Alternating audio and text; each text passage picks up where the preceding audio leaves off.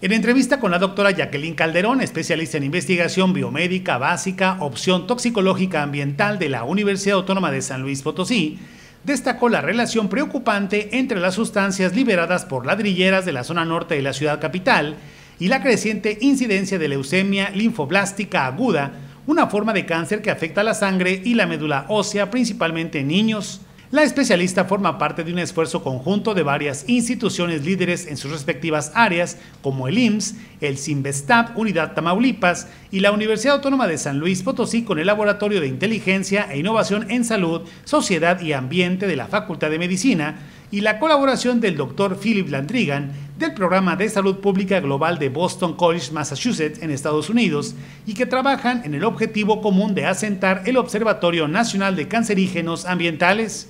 El estudio realizado tenía como objetivo identificar las fuentes detrás del aumento de casos de esta enfermedad en menos de 19 años en la zona metropolitana de San Luis Potosí, Tijuana, Mérida y parte del Estado de México.